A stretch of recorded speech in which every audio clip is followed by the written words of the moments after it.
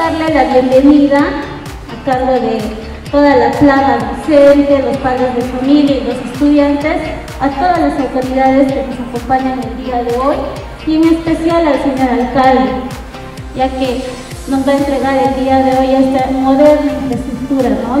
nuestra nueva institución educativa de 50, del Minuto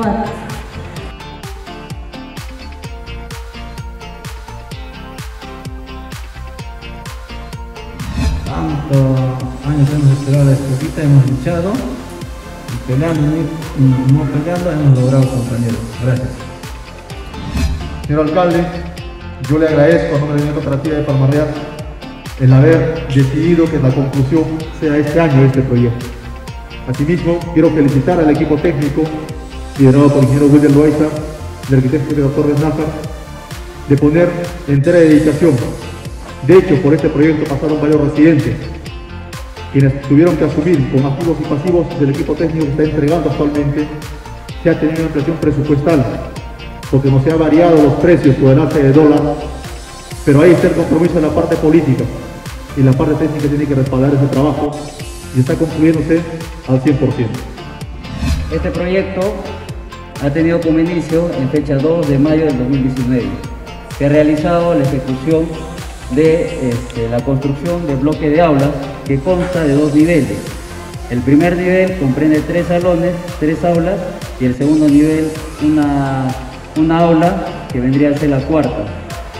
Seguidamente se ha construido el bloque administrativo que consta de una dirección, una secretaría y una guardianía, ambos con baños este, privados.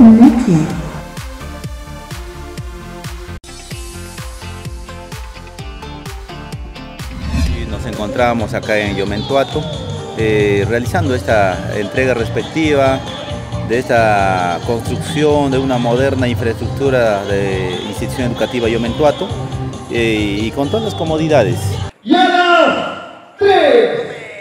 ¡Aplausos, por favor! Muy bien, gracias. En Palma Real es la tercera entrega durante este año. Hemos entregado la institución educativa Chapo Grande, eh, Chapo Chico, Chapo Sanatariato, perdón, y el día de hoy estamos entregando Yomentuato. Solo en Palma Real, tres instituciones educativas. Entonces yo creo que estamos trabajando por la educación y en las diferentes otras zonales lo mismo. Estamos eh, entregando diferentes instituciones educativas y eso permite también ¿no? que nosotros exijamos pues, resultados. Tiene que haber nivel de educación, entonces eh, yo creo que es trabajo, tarea de docentes que queda acá para adelante, pero es importante que nosotros también brindemos todas las comodidades que a la fecha le estamos viendo. Es una obra que se ha iniciado en la presente gestión, es bueno resaltar, señor alcalde. Sí, es una obra que se ha empezado dentro de esta gestión y estamos entregando también dentro de esta gestión, ¿no? con más de 3 millones de recursos y cumplida esta tarea. Aprovechamos para enviar un saludo a nuestros hermanos echaratinos por estas fiestas de Navidad y, éxitos en el año que ven, venidero. Definitivamente, es importante saludar a todos nuestros hermanos echaratinos y asimismo a la provincia de la Convención, que en esta Navidad nuestro Dios Altísimo, Niño Jesús, bendiga el corazón de cada uno de ellos, en el hogar, en la familia, y que este año 22 también sea de muchos éxitos para todos y estoy seguro, muy a pesar de esas dificultades de pandemia, siempre sobresaliendo, sobreponiéndonos y desearles desde nuestro gobierno, desde la alcaldía eh, de Charati, pues eh, felicidades eh, a nombre de nuestro altísimo creador. Gracias por la oportunidad de esta entrevista para poderme dirigir también a toda la población del distrito de Charati y bueno, también este, poder manifestar mi agradecimiento y sobre todo la gran alegría que tenemos el día de hoy, toda la familia educativa del 5880 de Yomentuato, al poder por fin contar con una infraestructura moderna, adecuada, que reúne las condiciones para poder hacer un trabajo pedagógico eh, de manera eficaz con nuestros estudiantes de esta población tan importante que es Yomentuato. Nos sentimos contentos porque nuestros niños no tienen por qué hoy en día decir o envidiar a otras localidades que tal vez ya desde años atrás cuentan con un local muy bonito. Entonces creo que hoy en día nuestra eh, población de Yomentuato, nuestra población este, estudiantil de esta comunidad, tiene esta oportunidad de contar con una bonita infraestructura, con ambientes adecuados, ¿no? ventilados, con la iluminación adecuada, con el mobiliario adecuado, con el equipamiento necesario como para poder desarrollar en ellos las diferentes competencias que se requiere para formar ciudadanos eficaces.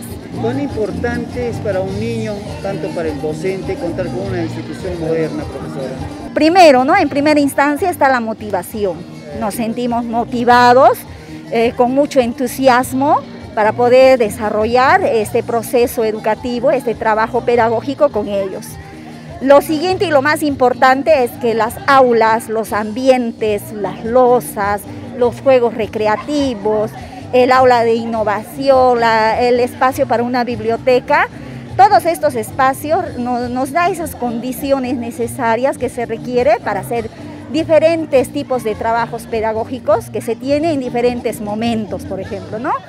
Entonces, eh, pienso yo que tenemos, como quien dice, una de las herramientas. Lo que nos estaría de repente faltando todavía un fortalecer y trabajar sería hacer el trabajo humano, ¿no?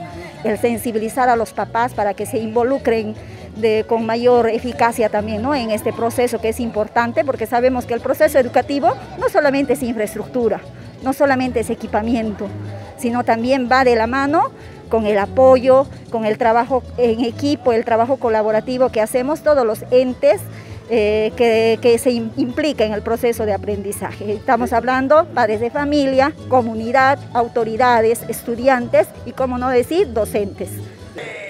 ¡Aplausos, por favor! Muy bien, gracias.